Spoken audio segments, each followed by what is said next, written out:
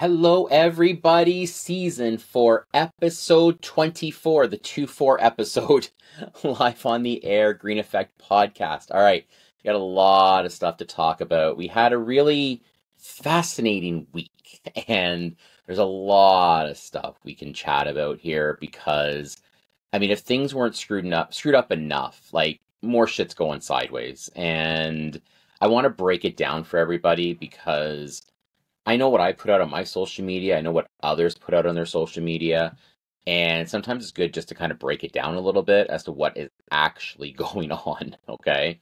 Um, first of all, it's, yeah, I'm doing the whole half goatee, half beard thing. I, I got some comments last time around about the, uh, the beard. I won't lie. I've just, I have actually like legit been busy and, um, I just, I haven't had to shave my whole face. I'm just doing the under part, the older man under part here, so it looks like I'm waking up and grooming myself. But after that, I don't know. This might disappear. We'll wait till the wife gets frustrated and then get rid of it then. But anyway, had some comments. Thought I would talk about that briefly. And for those of you who are not uh, watching on YouTube, please, I encourage you watch on YouTube quickly so you can see what I look like. All right, let's get into what's going on. And as you guys know, you'll get a bit of my side view if you're watching on YouTube, because I'm uh, reading off my screen a bit here with my notes. So, oh, brother, where do I even start? Okay, so Justin Trudeau, Liberal government. Uh, I, where I, I don't even know where to begin with this shit show. Same with Ontario government. Okay, so what is happening? And I posted about this on social media. Basically, they're they're cutting the GST. Okay, for like two months. We're giving you a tax holiday, GST. All right, not the HST, but the GST. As far as I know, it's just the GST. Please, someone correct me if I'm wrong, and it's the HST as well. Okay, don't forget HST is the harmonized sales tax. That's a combination of provincial and federal. Okay, so GST I believe is like seven percent, and in Ontario, PST is 8%. So HST comes out to 15%. All right. For those of you who are listening from not inside Ontario, yes, we pay 15% on most of our goods. All right. Americans will find that crazy because a lot of states don't charge tax on food or or certain types of food, right? So, nope, not here in Canada, baby. We'd be paying taxes on freaking everything. All right, so basically, we are going to get a GST holiday from December 14th ish, ish, until about mid February. And it's going to be pretty much on everything. All right.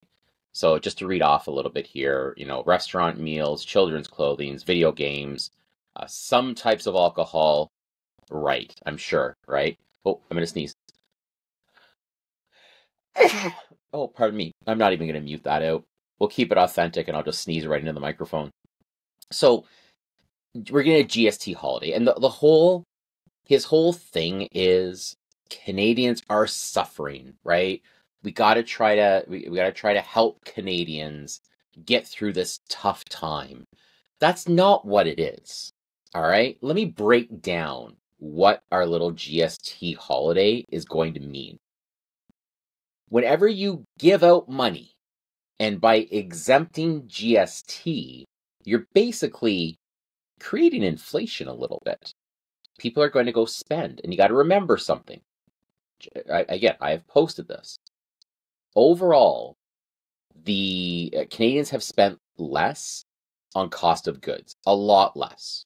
And that's usually the first thing to go, right? You know you're going into a recession when Canadians stop buying clothing when they stop going to restaurants. We know this is all down in the dumps. So, what do you do if you're the federal government? Hey, let's give some people some money, let's go spend, right? We know consumer solvencies are up. We know business insolvencies are way up, like way, like really, really high. Okay. Um, we know all that. So what does the government do? Hey, let's give people a tax break. Go spend more money. Hey, my my alcohol cabinet could be could be refilled a little bit. Because quite frankly, it gets used a little bit. All right? But let's keep going down the road of what this is actually going to mean. So again, We're going to prop up the economy, probably create inflation. I hate to break it to everybody. If in, if if inflation begins to increase, I don't know by how much, but we've already got very very low odds of a 50 bip drop in December. We were we uh, 50 bips was almost a lock in December. And another 50 bips, I think January, February, whenever the next one is after that. Now, 25. Like we're not getting 50. Like it's not going to happen unless something insane comes out. We're not getting 50 basis point drop. Why would they? We got GST rebates, or sorry, GST exempt coming up, right? And we got the Ontario government giving out 200 bucks to everybody. And then, just for the last, these things happen in threes apparently, the Liberal government's giving you another 250 in the spring. If you make under 150,000 you follow a bunch of the other rules, like 18 million Canadians are getting another 250 because it's because times are tough, right? It's kind of like I've used this analogy before. You're hitting yourself on the head and you go to the doctor and you keep hitting yourself on the head and you're like, "Hey doctor, uh, my head really hurts. I don't know why." As you're pounding yourself against the head with a frying pan. I got some new. And here's the other thing, guys. Let's not forget this. We're giving out money to people. We're we're not charging GST. We don't have the money to give. We're in a deficit. We owe the government owes gazillions of dollars. I'm sorry. Where is this coming from? Oh, right. We're going to pay for it. This is guys, this is genius. Here's your GST holiday. Here's 250 bucks. I know what he's saying. Psst. Disney Plus lady. Psst. Chrystia. Give him the money. We're just going to collect it back anyway. Don't worry about it. They're going to feel great about this. Maybe they'll elect us back. Probably not. But this is going to be so good. Come on, guys. Really, what are we doing here? Are we just giving out money? Just to give out money? It's exactly what we're doing. We don't have money to give out, but we're giving it out. This is this is crap. this is stupid. Do I enjoy the money? Absolutely. Will I enjoy GST reduction? Absolutely, I will. But don't enjoy it for long. They're all going to get it back. They're going to jack up taxes. We got a carbon tax increase coming. Guys, this is, what is it? A wolf in sheep's clothing. Don't fall for this shit. Don't. This is crap. Like this is, this is, for those of you who are Ontario, er, who are in Ontario, this is Kathleen Wynne 2.0. Right here, right now. It is the liberal MO. And it's it's garbage. It's absolute garbage. Maybe we should really refocus some of that money and put it towards housing. I don't know, call me crazy. Whatever. But this is going to be this is it's it's stupid. It's, it's stupid and it's ridiculous. It doesn't make any sense to me. At all. It's not good. There's more stats around this. But again, it's going to be at the it's going to be at the sacrifice of future generations, future governments. Like, what are we doing here? You know? All right, what's the next problem to deal with? Crap, I had it up here. Where's it gone? Oh, all right. Switch gears a little bit. Stress test policy change. All right, so me, along with everybody else, we're all excited as mortgage brokers and agents. Okay, we're all excited. Let me break down. You're hearing all over social media and in the regular media, for those of you still watch TV with cable.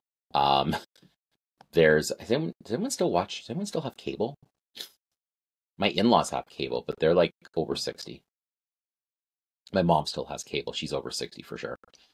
Uh all right, uh, let me break this down. So you're seeing all over social media. All right. You can now switch your mortgage with no stress test.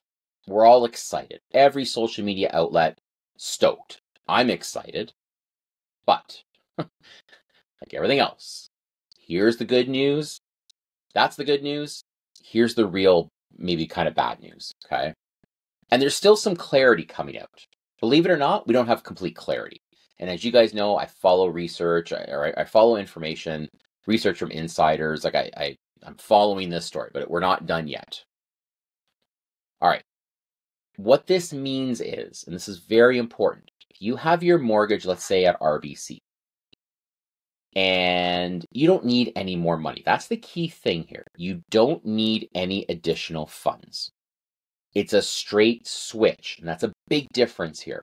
If you need more money, you want to add a HELOC, uh, consolidate some debt, etc., this doesn't apply to you. You still got to requalify at the stress test, okay, with the contract rate plus 2%. There's just no change there. You're asking the bank for more money than what you have or what you've been what you borrowed. They're going to requalify the whole mortgage. It's very very simple. What this is for is this is for folks who have an existing mortgage. All right, just a regular mortgage. There, there's some caveats there, but we'll just say an existing mortgage, and they don't need any extra money. Just we're good. We don't need consolidated debt. There's no strategies we need. We just need we just need that we have this mortgage. Well, in the past, what would end up happening is they would look around and maybe because the stress test was in place, it maybe prevented them from switching to another bank. And I mean a straight switch, straight switch. Well, now they've eliminated that. And they basically said, look, you've been paying your mortgage, you're in good standing, you don't need any extra money. Let's give you a bit of an advantage here. And you can actually switch your mortgage from one bank to another with no stress test. Huge for competition. That's great news. Until the until the fine print came out this week. okay? Until the fine print came out this week. And then we realized, hmm, good news for sure, but here again is the issue.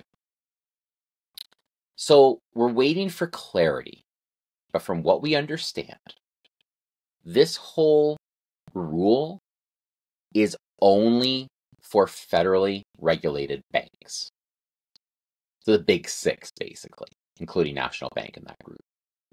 But apparently, OSFI, the Office of the Superintendent of Financial Institutions, basically babysits all lending in the country, is saying that uh, monoline lenders, for those you who don't know what monoline is, it's mono, one. They do one thing, they just offer mortgages. They're huge, they're great, they're awesome. They keep the banks in check a little bit with competition, so it's good to have them. And but they're saying they're not eligible for this. So First National, CMLS, MCAP, who else do we use? Equitable. Um, there's a whole bunch. Just oh, and then Canada's 392 credit unions and, and Caisse Populaires if you're in, in Quebec. They're just simply not eligible for this. They still have to apply and get it done at the stress test level. Crazy. So, again, here's a great rule. And now, here's the other issue you can't have it this way. Now, there's another little problem with this. This can only be done at your maturity date. So, if you want to do this midway through, let's say rates have dropped considerably, and now you want to break the mortgage, pay the penalty out of your pocket, whatever, right? Because most penalties right now are only three months interest anyway. If you want to do that, you can't. Got to wait till maturity. Can't do it midterm. Okay, you can do it, but you got to qualify at the contract plus two, which is the stress test level. Now, big, big freaking picture. Okay, is this going to light our market on fire? Even if it was every bank, it kind of really isn't anyway. If I can just go from complete excitement and good news to here's all the bad news to here's the reality, okay? Because here's the thing most clients are refinancing anyway, all right? And I will say this existing lenders are truly being competitive with rates, which they should be. You're their damn bank right? So we see banks like RBC, TD in particular, Scotia, they're being super competitive with their renewal rates. So if you do need to do a straight switch, sometimes it doesn't even make sense because they're giving you a really good rate. And, and again, so they should. Absolutely, they should. You're their damn bank. They've they've had you for this many years. So is this again? Is this going to light the world on fire? Or like completely stifle it, it's not going to do much, guys. This is not, this is something I'm going to post on social media that's exciting. In my humble opinion, it will help a little bit. Um, I did a funny post this week about, you know, all the customers I'm going to help because they can now be competitive. Yeah, it's okay. It's going to help. There'll be some we do. Uh, but again, this is not earth shattering because that's a thing too. Like for us, you know, as as I know with our team, we're not just order takers. We institute strategies, uh, cascading strategy, rate tracker, penalty pro. Like we have we have so many strategies that it probably doesn't even make sense to do a straight switch. You want to add a HELOC to give yourself some interest rate protection. There's a whole bunch of stuff in there, right? So anyway, this is not earth shattering. Holy crap. The world's going to be amazing now. It's just not. All right. Okay, moving along. Let's talk about the market because the market is another gong show. So, knock on wood, I know we have been very busy, right? We're very much in tune with our realtor partners and we know we, hear what's happening. And what we're starting to see right now is we're starting to see a lot of first time homebuyers come off the bench and actually get into the game. All right.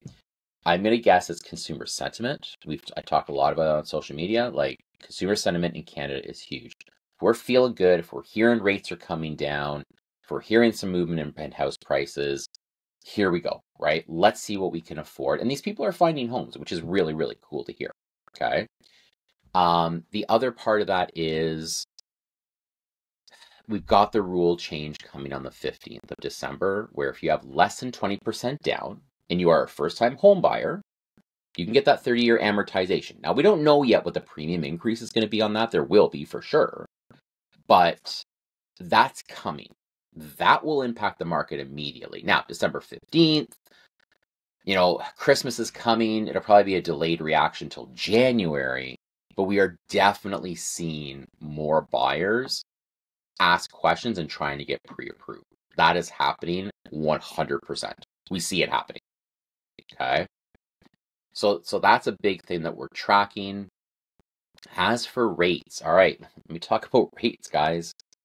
Here's what we're starting to see. We had one major lender drop rates this week. I don't know how long that's going to last because as the bond prices increase with Trump coming out with all his little announcements, we might see rates start to rise. And as the government gives out, let's call it CERB, it's CERB, guys.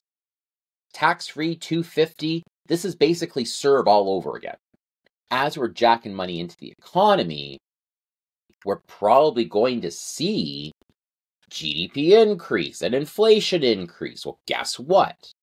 That's going to impact rates, prime rates, the whole bit. So, have we hit the floor on fixed rates? We're pretty damn close. I won't lie. We are pretty damn close. Right? We might have a little bit more to go. Man, but if this federal, if the governments keep giving us money to spend, we're going to spend it. Like, and we're to spend it on food and other stuff. Especially around Christmas, GST. I tell you right now, I'm going out and stocking up. Why not? It's like a 7% off sale. We'll see how the cost of goods goes, right? A retailer is going to get smart. Say, let's increase our price to offset the 7% these guys are all getting back. Maybe. I don't know. Anyway, those are things we're following. So, anyway, I hope that helped a little bit. That just kind of breaks down what we're seeing. All right. The new, again, the stuff the federal government came out with, um, the rule change is kind of a half ass rule change, to be honest. Uh, oh, I, I want to throw this out as well, since I since I have everybody right now. I'm not posting this on social media, but it's been posted. Be very careful what you see on social media. Be very careful. There's a post making its rounds right now. I'm just reading it. I'm not going to post it, but I'm just going to show, I'm just going to talk about it. Real estate agent in Stoney Creek, beautiful area, Stoney Creek, does a dance in front of a house, and it, and I'll read it, whatever. Oh, it's actually got the address too. Wow, this makes it even worse. She's basically doing a dance saying, just in front of the house, just secured, cash flow positive, $875,000 mortgage. She got 10% as a down payment. Rented 2700 plus 2200 equals 4900. Now, where do I begin with making sure careful what you read? So, the really sad part is okay, so that's great. We got up on social media that you've committed mortgage fraud. Fantastic. Because you can't buy a rental with less than 20% down. So that's great. And you put up the address. Fantastic. It's a corner detached home in Stoney Creek. Um, okay, great. So the mortgage fraud, I really hope a lender gets a hold of this and does a quick search. And hopefully this property they have financed so they can call the mortgage because it's this is shit. And something else, that rental income doesn't really cover the mortgage. it's like, well, it covers the mortgage, but the property tax, the utilities, they might be paying the utilities, but if it's a two unit, probably not. Maintenance, bad debt. She makes it sound like she's getting a thousand bucks a month in cash flow. I got news for you. You're not. All right. So just be very careful with what you see. I'm pretty sure you can probably do a Google search and find this property. Just search Stoney Creek, corner detached, just secured cash flow positive. This was posted by a real estate agent dancing in front of the house. This is what completely screws up our industry. Shit like that. On that note, let's call it a day. All right.